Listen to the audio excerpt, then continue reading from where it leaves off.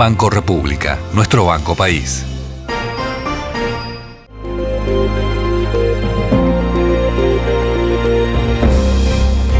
Con José Amorín Valle, el presidente del Banco de Seguros del Estado, aquí en Expo Activa, aquí con aire acondicionado, afuera insoportable, pero lloviendo.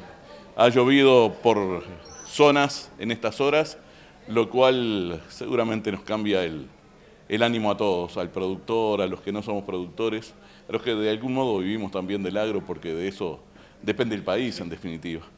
Eh, presidente, ¿cómo afronta el banco las pólizas que va a tener que pagar por eh, las pérdidas de rendimiento en, esta zafra? Bueno, buenas tardes. Bien, este, el banco hace lo que tiene que hacer. El banco hace, hace seguros, hace contratos de seguros, hace pólizas, y en la medida que se produce un siniestro el banco paga. Eh, esa sigue la historia del Banco Seguro de Estado.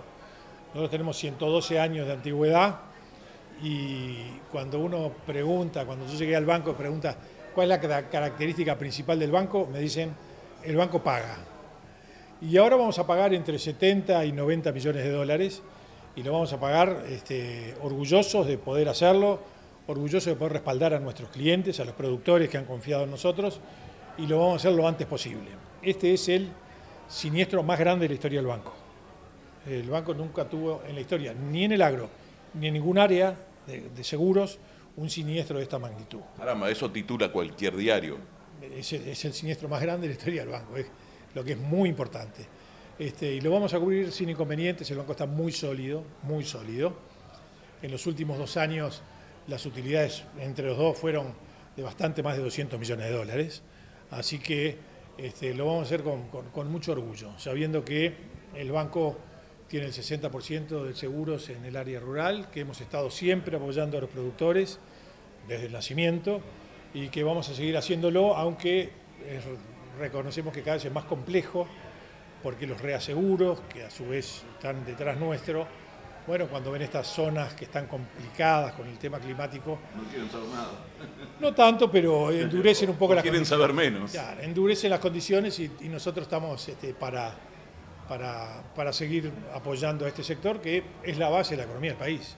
¿Cómo, cómo, ¿Cómo se mm, consolida esta espalda económica que hoy tiene el banco que le permite pagar sin ningún tipo de problemas? Eh, la mayor cantidad de indemnizaciones en su historia? Bueno, en los últimos años el banco ha crecido mucho. Este, el primer año que yo estuve, el banco tuvo una utilidad de poco más de 60 millones de dólares. El año siguiente como 140 millones de dólares, el año pasado cerca de 80 millones de dólares. Y este año tiene este siniestro, pero va a tener también una utilidad importante. Todo eso se suma al patrimonio y hoy tenemos un patrimonio con absoluta solidez. Estamos bien tranquilos bien conformes eh, como está funcionando el banco. El banco está sólido y puede eh, enfrentar situaciones como esta. Espero que no haya más, porque esto, no, esto es malo para el productor. Este, nosotros, en definitiva, garantizamos cierta cantidad, el productor pensaba sacar mucho más, pero el seguro nuestro le va a permitir seguir en actividad, que es lo que nos parece fundamental. Usted habla de unos 70 millones de dólares. De, de 70 y 90.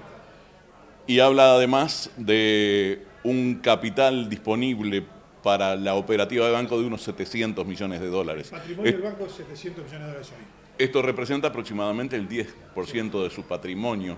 ¿Esto afecta de alguna manera o hay planes para seguir eh, aumentando la capacidad del banco? No, porque a pesar de lo que va a tener que pagar en este siniestro, el banco este año, el 2023, va a volver a tener utilidad. Así que a fin de año, en vez de hablar de 700 millones, vamos a estar hablando de una cifra bastante más alta que esa. Banco República, nuestro banco país.